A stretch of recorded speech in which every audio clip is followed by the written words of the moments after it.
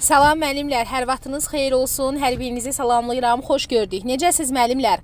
Ümidvaram ki, yaxşısınız. Mən Fərəcova Ayşən. Bu günləri bildiyiniz kimi 11 oktyabr və sertifikasiya müsahibə suallarını sizinlə paylaşırıq. Səhər simenində verilən sualları ə, e, təqdim etmək istəyirik. Yenə məzmun xəttini soruşulub. Məzmun xətti təbii ki, nədir? Ana xəttir, e, leytmotivdir, anadır. Mən demişdim ki, məzmun xəttini necə yadınızda saxlayırıq? Hər fənni şagirddə formalaşdıra biləcəyi bacarıqdır. Məzmun xətti eyni fənn daxilində dəyişmir, amma başqa fənlər daxilində, fənlər arasında də, bəli, dəyişilə bilər. Ə, məsəl üçün belə deyə bilərsiniz ki, indi məzmun xəttiniz nədirsə onu deyirsiniz. Məsəl üçün ta ki, ə, ibtidai təhsil üzrə müəllimlərdə 4 dənə ə, demək Azərbaycan dilidir, 5 dənə riyaziyyatdır sayırsınız və ətraflı şəkildə məlumat verirsiniz. Çalışın ki, düzgün formada sayasınız və çaşmayasınız. Sonra ə, konstruktiv rəydən belə bir sual verilib ki, bir dənə konstruktiv rəy deyə bilərsiniz. Ə, baxın, konstruktiv rəy nədir? Düzgün rəy, gələcəyə yönəlmiş və düzgün formada olan rəydir.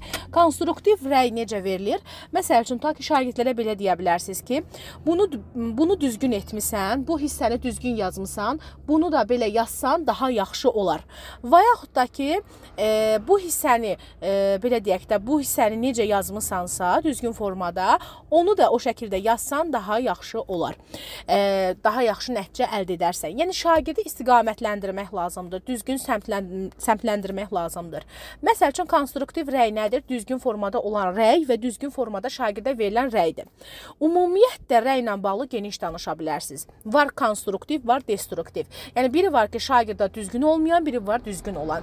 Konstruktiv rəyi E, misal üçün e, riyaziyyatla bağlı deyə bilərsiniz ki, hesablamada e, riyazi əməlləri düzgün etmisən, e, bu birisi hissəni də riyazi əməlləri və yaxud da ki, mötərizənin içərisini hesabladığın şəkildə etsən, daha yaxşı nəticə əldə edərsən və düzgün formada həyata keçirərsən. Bu formada deyə bilərsiniz. Sonra müəllimlər, digər sualımız nədir? E, bu arada müəllimlər, zəhmət olmasa kanalımıza abunə olmağı, bəyənməyi, paylaşmağı unutmayın. Hər biriniz bizim üçün dəyərlisiniz. Kanalımızın sayı çoxalsın, abunə sayımız çoxalsın və kulüb kurikulumla bağlı da paylaşımlar edirik. Zəhmət olmasa abunə olun ki, sizə birbaşa gəlsin və kurikulumla bağlı da e, paylaşımlarımızı digər yoldaşlarınızdan paylaşa bilərsiniz. Sonra üçüncü sual, ifadəli oxunu necə formalaşdırırsınız? Ümumiyyətlə ifadəli oxu nədir? Sərbəst səlis formada oxudur. Şeirdə də ola bilər, digər məsəl üçün e, ola bilər ki, əsər, hekayə, nağıl və s. bunlarda da ola bilər. Ümumiyyətlə ifadəli oxunu necə formalaşdırmaq lazımdır? Birinci müəllim özü düzgün ifadəli oxumağı, intonasiya ilə oxumağı bacarmalıdır və şagirdlərə bunu bunun yolunu e, başa salmalıdır və bunun düzgünlüyünü başa salmalıdır. Məsəl üçün müxtəlif şeirlər verə bilər, müxtəlif intonasiyalı hər hansı bir ə, şeirlər verib onlarda bu ifadəli oxunu formalaşdıra bilərlər. Ə, əsərlər verə bilərlər, yüksək səslə oxumanı verə bilərlər və s. İfadəli oxunu necə formalaşdırarsınız? Ümumiyyətlə düzgün şəkildə ə, demək məlumatlarla, əsərlərlə düzgün şəkildə hər hansı bir ə, bacarıqlarla, məsəl üçün indi dərsinizə baxırdı. Əgər sizdə Azərbaycan dili dərsidirsə, hər hansı bir əsərdirsə, hekayədirsə, nağıldırsa, bunu düzgün formada ə, intonasiya ilə o gəlirdi, o gedirdi və s. və yaxud da ki, ə, bir şeirlə, misal üçün hər hansı bir şeirdir, misal ə, e, burada indi misal sözünü mən sizə misal olaraq çəkirəm. Siz orada hər dəqiqə misal deməyin. Ola bilər ki, burada məsəl üçün ə, e, bir dənə şeir deyərsiniz. El bilir ki, sən mənimsən. Misal üçün deyirəm də, ifadəli formada, ifadəli formada deməyi bacarmalıdır. İfadəli oxu da, yəni oxuduğu məlumatı e, deməyə ifadəli formada çatdırmağı bacarmalıdır. İfadəli formada, düzgün formada çatdırmağı bacarmalıdır. Ümumiyyətlə ifadəli oxudu, sərbəst oxudu, ucadan oxudu, intonasiya ilə oxudu, e, sonra hansı ki səsli oxudu və s. bu kimi strategiyalardan istifadə etmək olar və oxunu e, şagirdlərə düzgün formalaşdırmaq lazımdır. Sonra dördüncü sualımız nədir? Şagird zəif oxuyur, valideyndən övladı ilə maraq e, valideyn e, valideyndən övladı ilə maraqlanmır. Nə edərsiniz? Yəni valideynlə e, valideyn övladla maraqlanmır və şagird zəif oxuyur. Nə edərsiniz? Bunu demək istəyibdi. Demək müəllimlər, burada nə edirsiniz? Ümumiyyətlə deyirsiniz ki, valideyn valideyn, e, müəllim, şagird münasibəti olmalıdır. Əgər valideyn şagirdlə maraqlanmırsa, müəllim səbirli olmalı, empatiya qurmalı, təkidli olmalı və israrlı olmalıdır. Daima əlaqə saxlamalıdır valideynlə və e, düzgün münasibət qurmalıdır. Ümumiyyətlə şagirdin zəif oxuması e, ola bilər ki, sonradan valideynin maraqlanmaması və əlaqə qurmamasına görə ola bilər və yaxud da ki, şagird ola bilər ki, potensial imkanı e, nisbətən aşağı olduğuna görə dərsi tam qavraya bilmir və əlavə məşğələlərdə keçmək lazımdır. Bu Bu halda nə edə bilərik? Ümumiyyətlə birinci valideynlə sıx münasibət qurmaq lazımdır ki, şagirdin həm irəliləyişi, həm e, oxumağı, həm də ümumiyyətlə qayda və prosedurlarla bağlı tam şəkildə formalaşa bilsin. Bu halda nə etmək olar? Valideynlə israrlı şəkildə əlaqə saxlamaq olar, empatiya qurmaq olar. E, ilin əvvəlindən valideynlərlə e, tanış olmaq lazımdır, onları tanımaq lazımdır, düzgün münasibət qurmaq lazımdır. Bu halda bu baş verməz. Yox, yenə də baş verirsə, övladınla maraqlanmırsa, mütləq şəkildə e, yenə də deyirəm, israrlı olub əlaqə saxlamaq lazımdır. Ya anası, ya atası heç olmasa sıx-sıx əlaqə əlaqə saxlamaq lazımdır ki, şagird haqqında müəyyən məlumatlar verək. Var, bəzi valideynlər var, işləyirlər, bəziləri var, məsuliyyətsizdirlər. Çünki valideynin şagirdlə maraqlanması onların hüquqlarıdır. İstəsə olar, istəsə olmaz. Amma biz elə etməliyik ki, onlar maraqlansınlar.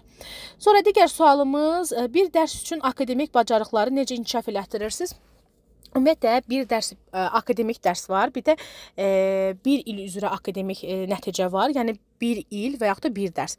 Burada bizə bir dərs sor ə, demək soruşulubdu. Ümumiyyətlə bir dərs üçün akademik bacarıqlar, yəni düzgün bacarıqlar, həmin dərs üçün 45 dəqiqənin akademik bacarıqları necə həyata keçirirsiniz? Gəlin baxaq dərsin e, bir dərs akademik o deməkdir ki, 45 dəqiqə ərzində e, bir il ərzində akademik bacarıqlar odusu, yəni ki, bir il ərzində həyata keçirdiyimiz bacarıqlar.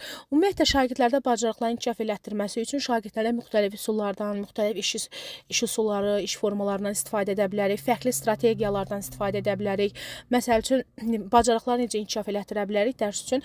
Dərsimiz məsəl üçün e, hesablamadısa, hesablama ilə bağlı müxtəlif strategiyalar seçə bilərik. Əgər yox, oxumadısa, oxuma ilə bağlı, yox, məsəl siz ibtidai sinif müəllimləri var ki, onlarda başqa ixtisaslarda keçirirlər, ədəbiyyat müəllimləri də ola bilər. Yəni onlarda əgər dərsimiz nədirsə, o nə ilə bağlıdırsa, o şəkildə bacarıqların inkişaf etdirilməsi üçün iş üsullarından, iş formalarından, strategiyalardan, fərqli metodlardan, fərqli belə deyək də resurslardan istifadə edərək bunları formalaşdıra bilərik. Biraz yoldayam müəllimlər, ola bilər səs gəlsin. Həm də e, belə deyək də mən rayona çıxmışam, artıq uje tətilə getmişəm bir 10 günlük. 10 gündən sonra artıq Bakıya qayıdıb yeni e, 2024-cü il üzrə artıq oktyabr qruplarımız 23-dən başlayır. Ona görə bir 10 günlük rayona gedirəm. E, sadəcə mən sizi boş buraxmaq e, istəmədim ki, siz e, gün orta məndən video gözləyən müəllimlər var, sabah gözləyən, sabah üçün gözləyən müəllimlər var. Hər zaman biz e, ilk olaraq paylaşmışıq. Ona görə də istəmədim ki, biz kanalımızı boş buraxaq, sizi e, boş buraxaq ki, siz sualları e, əldə eləyəsiniz. Yəni əldə eləyəsiniz ki, e, cavablandıra biləsiniz. Çünki növbəti günlər, növbəti saatlar var ki, eyni suallar verilə bilər. Ona görə də e, yenə də hər zamanki kimi sizin yanınızdayıq. Hər birinizə e, uğurlar arzulayıram. İnşallah hər şey yaxşı olacaq. Sadəcə biraz səbirli, təmkinli olun. E, həyəcanlanmayın. E, məzmun xəttinizdir, icmalı da düzgün şəkildə oxuyun və verilən sualları düzgün formada başa düşüb, düzgün formada çatdırın çatdırın müəllimlər. Və qeyd etmək istəyirəm ki, kurikulum və texnologiya ilə bağlı dərslərə qoşulmaq istəyən müəllimlər 050 566 0061 nömrəsinə əlaqə saxlaya bilərsiniz. E, zəhmət olmasa e, bizim videonu bəyənməyi, paylaşmağı və e, abunə olmağı unutmayın. Hər birinizə təşəkkür edirəm dinlədiyiniz üçün. Hələ ki əldə etdiyimiz suallar bunlardır. İnşallah ki, başqa suallar əldə əldə eləsək, daha doğrusu əldə eləyirik növbəti sualları. Sadəcə artıq bir video paylaşırıq, digərlərin qruplara atırıq ki, hər kəsin məlumatı olsun olsun. Amma yenə də paylaşmağa çalışacağıq. Sağ olun müəllimlər.